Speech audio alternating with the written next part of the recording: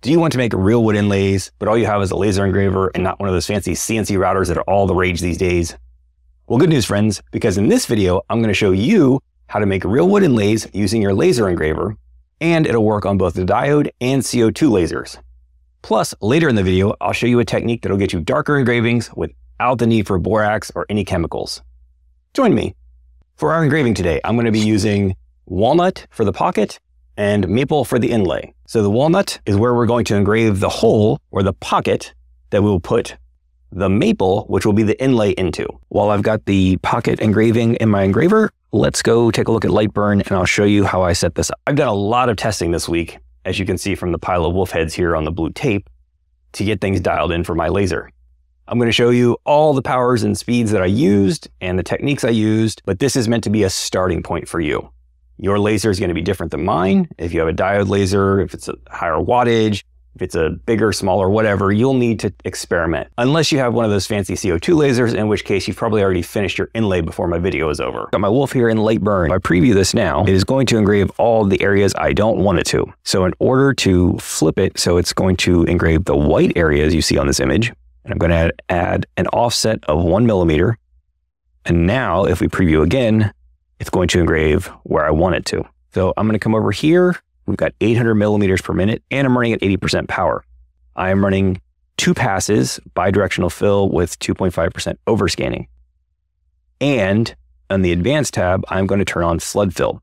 So flood fill, when you run it, it will engrave things by group. So if we look at the time now, it is one hour, nine minutes to do two passes on the wolf. If I come back in here and I turn off flood fill, two hours and 37 minutes. So a significant time saving using flood fill. So I've got the pockets set to engrave. I want to also add a line at the end that's going to go around all these edges and clean it up. Duplicate everything here. I go to layer one, paste this and line this up to match. And I'm going to drag line underneath of my fill because I want it to happen afterwards. And my line is set to 300 millimeters per minute, 80% power, one pass, and that's it. Everything else is default. Okay, we are ready to go with our wolf, and it actually should be done in the laser engraver right about now. First pass is done. I'm checking the depth with the calipers, and it's not quite deep enough yet, so I'm gonna run this one more time.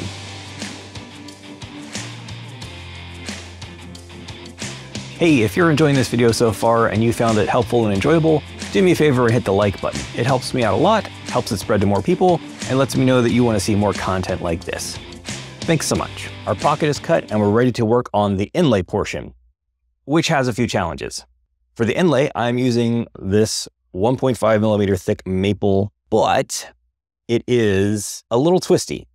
So I'm going to show you how I get this flat because if it's not flat, when the laser moves over different areas, it'll be out of focus and won't cut as efficiently and your inlay may not come out properly. Another thing is if you're cutting something simple like this gear, there's really only one way it can go into the inlay or into the pocket. But we're cutting something very intricate here, and there are lots of little pieces. So if you don't like doing jigsaw puzzles, let me show you how to take care of that. Okay, here's what you need. First off, you need your inlay material. Like I said, I'm using this 1.5 millimeter maple. You're gonna need some masking or painter's tape. I'm using this two inch blue knockoff brand tape. It was recently repriced and it's worked really well for this. I'll link it in the description below. You're gonna need some CA glue. I also have the accelerator for it. Uh, you'll need something to cut the tape with. Lastly, you will need a scrap board that is very flat. In this case, I'm using this piece of MDF that I don't mind messing up in the laser. Plan is we're gonna put the tape onto the inlay wherever the inlay is gonna cut. So I'm just gonna sort of line it up and eyeball, take our tape right about here for my top line. Again, this doesn't have to be super accurate as long as you are sure that the tape you're putting down covers the entire area that is going to be cut out. Going to line these up and I want to make sure they just butt up. I don't want them to overlap, create a bump. So I'm going to get as close as possible and I'm going to cover it like this. And I'm also rubbing it to make sure that all the air is out. There are no lumps or bumps. I'm going to do three layers of this in, a, in this sort of crisscross pattern. All right, so I've got three layers down and now I'm going to add two more. I know I said three, I lied flip this over. Then we trim off the excess. I'm going to put two layers of tape onto the MDF in the same crisscross pattern. And I'm going a little wider than I need to because this will make it easier to get everything disassembled later. So at this point, you're probably wondering, what is with all this tape? The first three layers I put on the inlay is so that we can engrave down to the tape without cutting all the way through it so that it keeps all of our inlay parts in place where they're supposed to be. This will make it a lot easier to put into the pocket later, which you'll see in a little bit. The second two tape layers is for the super glue because we are going to take this wavy board and we're going to super glue it down to our flat board and the glue will act as a clamp that will make the board flat so that we don't have all the warping going on. The two layers extra is because I found if I just used three layers, put the super glue on that, sometimes the glue will seep through into and get onto our material, which ends up making a mess when we try to clean it up. Accelerator on the board, and then I'm going to take my super glue, and I'm not going to put a ton. I'm going to come in just a little bit from the edge, and then I'm just going to run a thin bead. Now we're going to flip it over.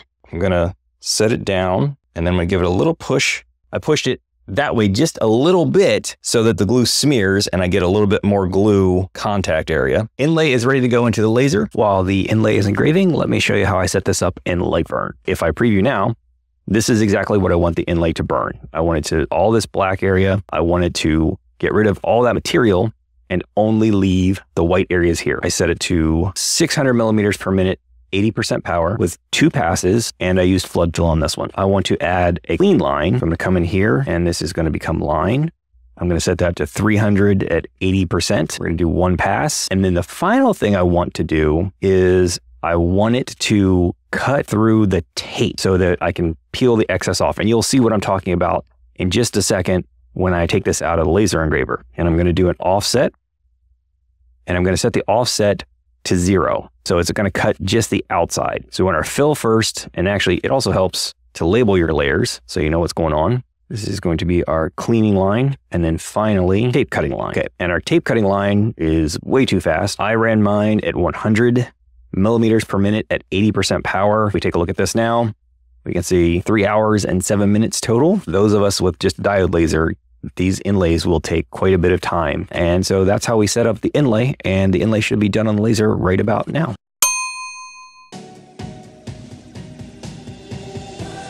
You should be able to make out a little bit of blue under here. So we've gone all the way through the wood. We've gotten rid of all the excess wood down to the tape. So theoretically, if this cut properly, we should be able to peel this up. Beautiful. I'm just using scraper here just very carefully going to go underneath. We're to give this a quick sand.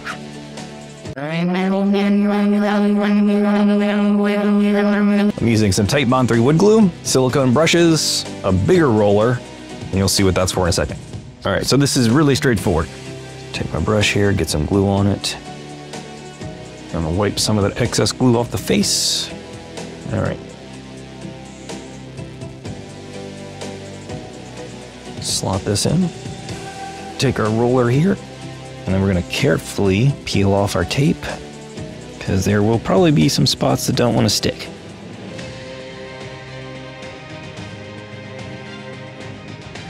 So I did miss a couple pieces.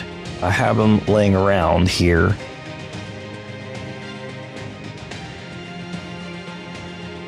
So when I turned on the sander, it, uh, it blew away all those tiny pieces that I was hoping to save, except one. I managed to save one. Not bad. So uh, let's put some finish on this. I think we need a name for our wolf friend here. So leave me a comment down below and let me know some ideas for names.